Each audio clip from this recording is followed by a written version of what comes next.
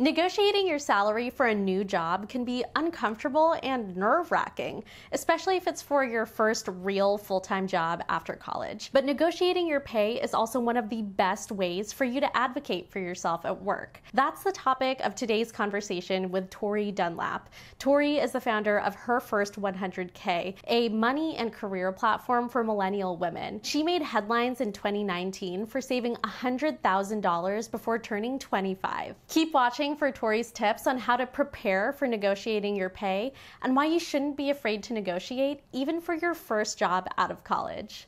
No one will advocate for you like you.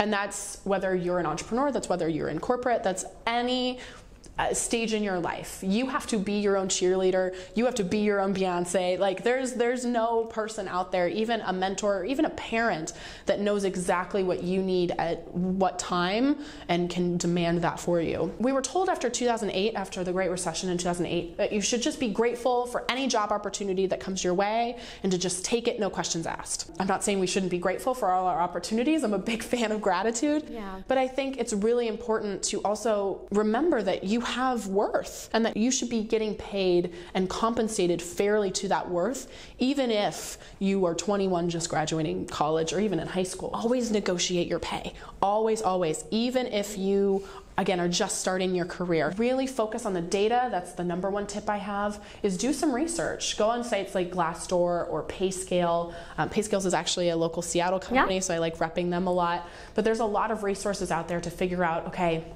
with this particular job title in this city, with my skills and my expertise and my degree, what should I be getting paid? How should I be fairly compensated? Arming yourself with that data is a great way to go in and have a really honest, open, caring conversation about uh, compensation and salary. But please do negotiate. You do have the power to negotiate. I think one thing that I get different advice on is whether you should name a number first or wait for the company to do it. Do you have any advice to share on that? Yeah, again, there's there's different people will tell you different things, but I'm a big fan of waiting. Um, you have no idea what that number is going to be unless they tell you. So, two questions that you get asked a lot in um, job interviews and through the salary negotiation process is what is your current salary mm-hmm. and what are your salary expectations? I never share the first one. Yeah, so what is your current salary is actually illegal. It's illegal in 11 states. If it is illegal in your state, you do not have to answer this question. If it's unfortunately not illegal, there's ways to skirt around this question, which is I don't feel comfortable talking about my current salary, but I'd be happy to talk about the skills and the expertise I will bring to this role.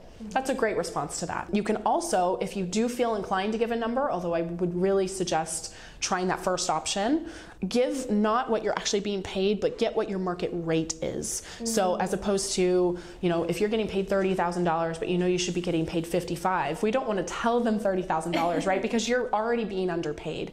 So if you do give a number, give a range, give a range between 15,000 and 20,000. So we'd say $50,000 to $65,000 and then please name the range that you should be getting compensated in, not the one you're currently. Okay. As far as the second question, what are your salary expectations? Nine times out of 10, this has worked for me in my own job interview experience. Simply saying something like, actually, I don't understand the full scope of this role yet, and so I don't know how to accurately price myself, but I'd love to hear what your budget is for the role. Nine times out of 10, that works. They're happy to tell you because they do have a budget. The only reason they're asking that question, really at the core of it, is to get you for as cheap as possible. And for women and people of color, that affects us even even more strongly. And so if you can kind of redirect that question and politely ask them to give you their budget, then you can say, "Oh yeah, that that range makes sense for me or that's doable for me." And don't make the same mistake that I made when I was um, interviewing with a company when I was able to give them a number Okay. I didn't want to overshoot it and look like I was out of touch. I gave them the number and they go, Oh, yeah, we could absolutely do that. And you would get relocation. And based on that response, I was like, I gave them something that was way too low. Yep. And it made me look like I didn't do my full research. And weirdly, what you'll find is if when you start negotiating, people actually respect you more. Yeah. So the one thing I hear a lot from women, especially, especially young women, just starting their careers, is they go, okay, what if I lose this opportunity, right? What if I negotiate and they don't like it? They think I'm greedy, or they they think I'm trying to get too much, and they they revoke the offer. One, this hardly ever happens. Yeah, Two, it if it does happen, that is not a company you want to work for anyway. If they're not willing to have an honest, open conversation with you about compensation, they're not a company that's willing to see your value, right? They're just not in it for the long haul. They're not willing to at least talk about it with you. So that's a huge red flag. They're actually doing you a favor in revoking your offer. But very rarely does that happen. And so if a company is like, yeah, sure, that sounds great, you've asked for too little.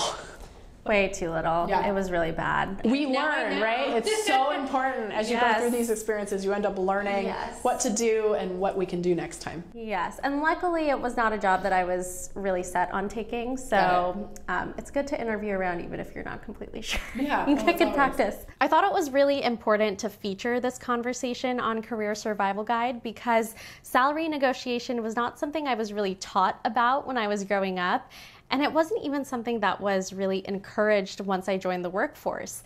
In fact, when I was looking at my first few job offers, there were people in my life who told me not to negotiate out of fear that it would make me seem greedy. I didn't end up taking that advice, and I've actually negotiated, successfully negotiated every job I've had since graduating college. But in order to learn how to negotiate and feel comfortable doing it, it really required some mindset shifts on my end and also a lot of unlearning. That fear of coming off too greedy or too aggressive when negotiating your pay is a common theme that I've heard a lot, especially when I speak to folks who are either immigrants or the children of immigrants like myself.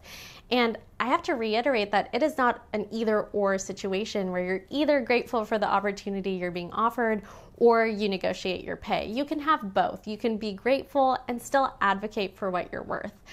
I remember when I was just starting out and I had my first offer that I wanted to negotiate, I was really scared and unconfident because I didn't want the hiring manager to think I was asking for too much or that I was out of touch and that I was overvaluing my work. But if you do your research and you understand what people at your experience level and role are being paid, you'll have more confidence to ask. So definitely do your research.